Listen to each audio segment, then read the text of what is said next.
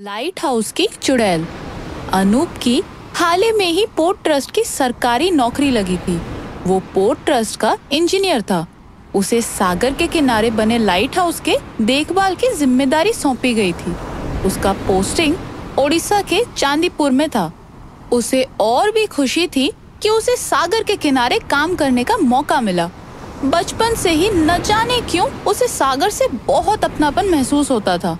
एक दिन उसे चांदीपुर से करीब 20 किलोमीटर दूर एक वीरान से इलाके में भेजा गया और वहाँ का लाइट हाउस करीब 100 साल पुराना था जिसे ठीक करने के लिए इसे वहाँ भेजा गया था। वो वहाँ पहुँचा तो वहाँ के लाइट मास्टर ने उसका स्वागत किया। Welcome sir. मेरा नाम हिमेश है। मैं यहाँ का लाइट मास्टर हूँ। अनूप ने हिमेश से हाथ मिलाया और कहा ये लाइट हाउस तो बहुत ही पुराना है। इसी वजह से शायद बहुत सुंदर भी है। क्योंकि आजकल तो ऐसे लाइट हाउस बनते ही नहीं है। हिमेश साहब जरा ऊपर चलकर देखते हैं कि मामला क्या है। अब तो शाम हो चली है। लाइट हाउस में लाइट जलने का भी वक्त हो गया है। तो बारीकी से कल जाँच करेंगे। जी सर ठीक है। दोनों ऊपर जाने लगे और ऊपर पहुंचकर अनूप ने ऊपरी तौर पर ही जाँच की। फिर उसने हिमेश से कहा मुझे अभी तो कुछ ज़्यादा खराबी दिख नहीं रही है। कल देखते हैं अच्छी तरह से। Okay sir. अगले दिन अनूप सुबह नौ बजे लाइट हाउस के ऊपर अकेले ही चला गया और वहाँ लगे मशीनों की उसने बारीकी से जाँच पड़ताल शुरू की।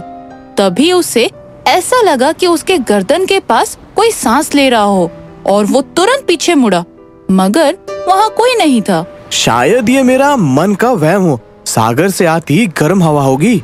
फिर अनूप वापस अपने काम में लग गया लेकिन अचानक उसे लगा कि उसके हाथों को किसी ने जोरों से पकड़ रखा है और जिस कारण वो अपना हाथ नहीं हिला पा रहा था। अनूप घबरा कर चिल्लाया कौन है जो ये बेहुदा हरकतें कर रहा है? सामने आओ। तभी एक औरत की खिलखिलाती हँसी सुनाई दी। अनूप के माथे पर डर से पसीने आने लगे मगर वो निडर बनकर खड़ा रहा और कहा अगर आपको मुझसे कुछ कहना है तो आके कह सकती हैं। यूँ ये सब करने की कोई ज़रूरत नहीं है। आप सीधे मुझसे आकर बात कर सकती हैं। फिर उस औरत की आवाज़ आई। तू भूल गया। तेरा तो ये दूसरा जन्म है। लेकिन मैं कैसे भूल सकती हूँ? याद कर तू पिछले जन्म में एक बड़े से शिप का इंजीनियर था। और उसी शिप में मेरा पति नारायण एक शिपमैन था। वो शिप में सोने का स्मगलिंग छिप छिप कर किया करता था। और तूने उसे रंगे हाथों पकड़ा था। और फिर उसे पुलिस के हवाले कर दिया था और जेल में ही वो जल बसा था। और मैंने तब से ये ठान लिया था कि मैं तुझे चैन से जीने नहीं दूँगी। मगर बीमारी की वजह से मेरे शरीर ने मेरा साथ छोड़ दिया। मगर अब तुझे मुझसे कोई नहीं बचा सकता। अब मुझसे ज़्यादा ताकतवर कोई नहीं है। ये कहते हुए चूड़िया पहने दो हाथ हवा से बाहर आए और ये देखकर अनूप डर गया। और वहाँ रखे गए पुराने टूटे फूटे सामानों के पीछे छुप गया। और कुछ देर बाद वो चुड़ैल अनूप को पूरी तरह से नज़र आने लगी। तू छुपे रहे मैं यहाँ से हिलूँगी भी नहीं। तू खुद ही बाहर आकर मुझसे अपनी जान की भीख मांगेगा। अनूप साहस जोड़ते हुए बाहर निकला और उससे कहा नारायण ने गैर कानूनी काम किया तो उसे उसकी सजा उसे मिली और पिछले जन्म से मेरा अब क्या रिश्ता? तू मुझे ये सब ना सिखा। मैं तेरी एक नहीं सुनने वाली। अनूप ने उसे बातों में उलझाकर साथ लिए हुए स्टंट पैटर्न से बड़ी ही चालाकी से अपने पास ले आता है। और जैसे ही चुड़ैल अनूप की तरफ़ गुस्से में बढ़ती है तो अनूप ने उस 440 वोल्ट का पैटर्न उस चुड़ैल को लगा दिया और जिससे वो चुड़ैल काफ़ी दूर तक छिटक गई और आसमान में कहीं खो गई। फिर अनूप ने अपने मन में ही कहा उम्मीद करता हूँ कि इस झटके के बाद तुम दोबारा कभी नहीं मिलोगी। चुड़ैल, ऑटो रिक्शा में। शंकर ने सुबह होते ही अपनी ऑटो रिक्शा निकाली और चल पड़ा अपने काम में।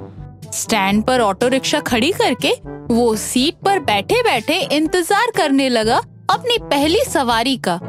तभी उसके कानों में एक आवाज़ आई और उसने देखा कि एक बहुत ही खूबसूरत औरत उससे पूछ रही थी, ओ रिक्शा वाले भैया गोविंदपुरी चलोगे? ज़रूर चलूँगा मैडम। लेकिन कुछ ज़्यादा पैसे देने पड़ेंगे। वहाँ से लौटने में सवारी नहीं मिलती है ना? ज़रूर। इसकी चिंता मत करो। शंकर ने उस औरत को अपने रिक्शा में बिठाया और चल पड़ा गोविंदपुरी की तरफ़। मन ही मन वो सोच रहा था आज भगवान कुछ ज़्यादा प्रसन्न है मुझ पर। पहली सवारी से कमाई आज अच्छी आ गई तो दिन की कमाई भी अच्छी रहेगी। शंकर मन ही मन खुश होकर ऑटो चला रहा था। गोविंदपुरी शहर के एक किनारे बसा हुआ एक नया इलाका था। इक्के दुक्के लोगों ने ही उस तरफ़ अपना मकान बनवाया था। अचानक पीछे बैठी औरत ने एक अजीब सी आवाज़ में कहा ऑटो रिक्शा रोक यहीं पर शंकर. शंकर ने घबराकर पीछे देखा तो उसके मुँह से चीख निकल गई। पीछे उस सुंदर औरत की जगह एक खूंखार चेहरे वाली भयानक सी औरत बैठी थी। शंकर ने जैसे तैसे अपनी रिक्शा रोकी। आप आप कौन हो? औ- और वो सुंदर मैडम कहाँ गई? मैं ही वो औरत हूँ जिसे तुमने अपनी रिक्शा में बिठाया था। अब बता कैसी लग रही हूँ मैं? अरे इंसान के बच्चे मैं एक चुड़ैल हूँ और अब मैं अपने असली रूप में हूँ। मैं चेहरा बदल कर तेरे ऑटो में बैठी थी। चल अब काम की बात करते हैं। सुन, अब तू मेरे साथ चल रहा है चुड़ैलों की दुनिया में। हमारी चुड़ैलों की दुनिया में कोई ऑटो नहीं चलती। तो हमने सोचा, हमारी दुनिया में भी ऑटो रिक्शा चलनी चाहिए। इसीलिए ऑटो के साथ तुझे लेकर अपनी दुनिया में ले जा रही हूँ। अब से तू चुड़ैलों की दुनिया में ऑटो चलाना। अगर ना की तो यही तेरी गर्दन मरोड़कर ज़मीन में गाड़ दूँगी। ऐसा मत करो चुड़ैल माता। अब बिना किराया दिए चली जाना। माफ़ करो मुझे। अब तो तुझे मेरे साथ चलना ही है। ये कहकर उसने ताली बजाई तो शंकर का दिमाग घूमने लगा और वो बेहोशी के हालत में आ गया। जब उसकी आँखें खुली तो उसने देखा वो भूत प्रेत और चुड़ैलों की दुनिया में अपने ऑटो में बैठा है और चारों तरफ़ से भूत प्रेतों और चुड़ैलों ने उसे घेर रखा था। उनके बच्चे तो उसे छू छू कर देख रहे थे। सब एक से बढ़कर एक खतरनाक थे। फिर एक चुड़ैल के बच्चे ने कहा माँ ऐसा होता है क्या आदमी? कितनी अच्छी मांस की महक आ रही है इसके बदन से। थोड़ा सा मांस इसके बदन से खा लूँ? दूसरा बच्चा अरे क्या नरम नरम मांस है इसके? मुझे इसका मांस चाहिए, माँ। अभी इसी वक्त मुझे इसका मांस चाहिए, माँ। बड़ी मुश्किल से चुड़ैले अपने बच्चों को शंकर से दूर रख रही थी। तभी उसके रिक्शे में बैठने वाली चुड़ैल आई। क्यों रे शंकर? होश आ गया? अब से तू इसी चुड़ैलों की बस्ती में ऑटो चलाया करेगा। नहीं तो तुझे बच्चों के हवाले अभी करती हूँ। फिर देख तेरा क्या हाल होता है। नहीं नहीं चुड़ैल माता ऐसा मत करना। मैं यहीं आपकी बस्ती में ऑटो चलाया करूँगा। आप लोगों को किराया देने की भी कोई ज़रूरत नहीं है। दिन भर शंकर चुड़ैलों और उनके बच्चों को ऑटो में बिठाकर इधर उधर आता जाता रहा। रात में ही उससे छुट्टी मिली तो वो ऑटो में लेटा सोच रहा था। मुझे मुक्ति दिला दो भगवान। इन जानलेवा चुड़ैलों से कोई तो उपाय से मेरे दिमाग की बत्ती जला दो भगवान। फिर अचानक से उसे एक उपाय सूझा। अब देखता हूँ तुम चुड़ैलों को। देखता हूँ तुम कैसे बचते हो। उसने अपने रिक्शा के बैटरी तार को छुपाकर सीट के साथ अच्छी तरह लगा दिया। सुबह हुई तो वही चुड़ैल जिसने शंकर को जबरन चुड़ैलों की दुनिया में लाई थी वो आई। क्यों रे शंकर? देख आज भी मैं तेरी पहली सवारी हूँ। चल चल, जल्दी चल। चुड़ैल, ऑटो में बैठी। शंकर ने जैसे ही ऑटो स्टार्ट किया, ऑटो रिक्शा के बैटरी के बिजली का करंट सीट में छुपी तार से होकर चुड़ैल को ज़बरदस्त बिजली का झटका मारा। चुड़ैल को बिजली के झटके ने ऑटो से बाहर फेंक दिया। चुड़ैल कुछ देर तक सुन्न होकर पड़ी रही। जब उसे होश आया अरे बाप रे, मैं तो मरी। मुझे ऑटो में अब नहीं बैठना। ये इंसान तो चुड़ैलों की भी जान ले सकता है। इनसे चुड़ैलों को दूर ही रहना चाहिए। ये कहकर वो हवा में गायब हो गई और तभी शंकर के चारों तरफ़ अंधेरा सा छा गया। कुछ पल बाद जब अंधेरा हटा तो शंकर ने देखा कि वो अपने ऑटो रिक्शा समेत अपने घर के बाहर खड़ा है।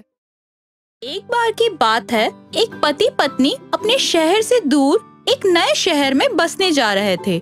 उनकी हाल ही में शादी हुई थी।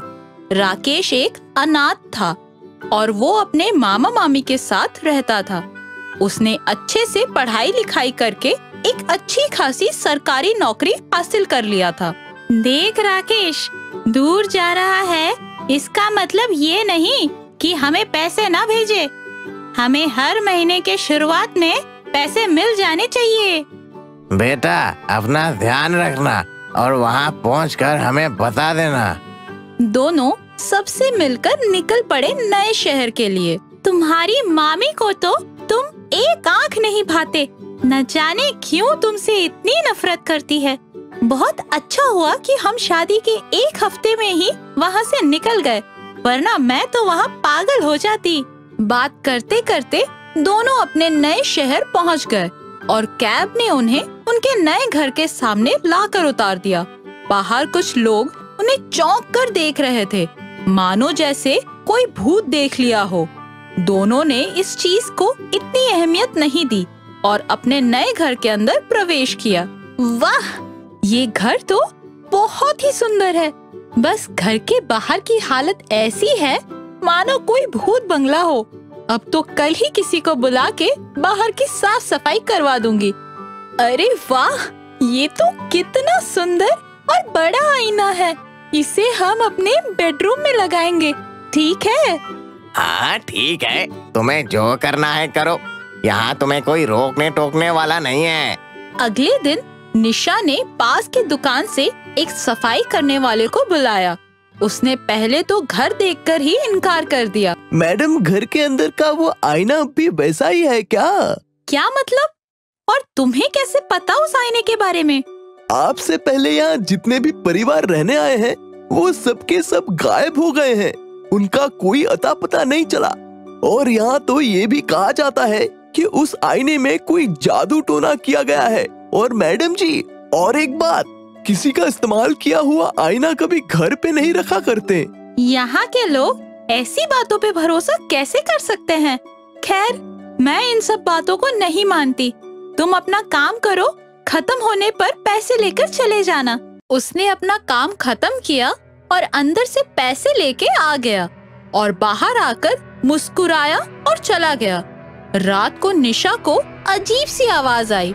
वो उस आईने के पास गई तो आईने के अंदर से बहुत सी आवाज़ें आ रही थी। और जैसे ही उसने वहाँ कान लगाया तो अचानक उसे नीचे से किसी ने खींच लिया और उस आईने के अंदर वो फंस गई। उसने अंदर से बहुत चीखने चिल्लाने की कोशिश की, पर उसकी आवाज़ बाहर तक नहीं आ रही थी और ना ही वो बाहर से दिखाई दे रही थी। उसने अंदर देखा, तुम तो वही हो जो आज सुबह घर साफ़ करने आया था। और तुम ऐसे कपड़ों में क्यों हो? और ये कितने लोग हैं? ये सब कौन है? मैं एक तांत्रिक हूँ। मैं रूहों को कब्जा कर उन्हें मजबूर करता हूँ कि वो लोगों को परेशान करें और फिर लोग मेरे पास दौड़े चले आते हैं और उसे मैं बहुत सारे पैसे कमाता हूँ। तुम्हारे मरने तक तुम अब यहीं रहोगी और अगर तेरी किस्मत अच्छी हुई तो तू कल भी यहाँ से निकल सकती है। राकेश ने अगले दिन निशा को बहुत ढूंढा। पर वो उसे कहीं नहीं मिली। तो वो तांत्रिक सुबह उसके घर जा पहुँचा और राकेश से कहा मुझे पता है कि तुम्हारी बीवी गायब है। तुम मुझे पचास हज़ार दो तो मैं एक हवन करवाऊँगा जिससे तुम्हारी बीवी तुम्हारे पास वापस आ जाएगी। राकेश को उस पे शक हुआ। उसने उसे मना करके वापस भेज दिया पर उसका पीछा करने लगा था। उसने देखा कि वो पीछे से उसी के घर के अंदर एक छोटे से गड्ढे से गया और फिर वहाँ अपने आप दीवार आ गई। उसने तुरंत पुलिस बुलवाई और उस सुरंग को खोदने लगे और फिर वो एक अंधेरे कमरे में जा पहुँचे, जहाँ बहुत सारे लोग थे और उनमें से एक उसकी पत्नी भी थी और फिर उस तांत्रिक को पुलिस वालों ने गिरफ़्तार कर लिया। सारे लोगों ने राकेश का शुक्रिया अदा किया और साथ ही उस आईने को भी तोड़ दिया गया और उस सुरंग को बंद कर दिया गया हमेशा के लिए।